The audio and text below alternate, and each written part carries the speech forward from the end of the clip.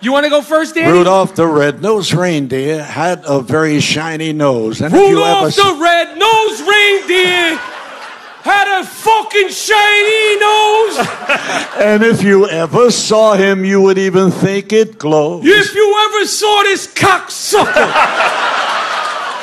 with this big red nose, you might even say, "Holy shit, that fucking thing glows."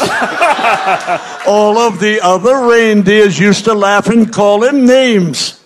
All of the other reindeers, they used to come out and break his fucking balls. Rudolph the red-nosed reindeer, you'll go down in history. Then one shiny Then one Christmas- shiny Christmas Eve, Santa came to say, Rudolph. Santa came down, he was smoking a fucking cigar.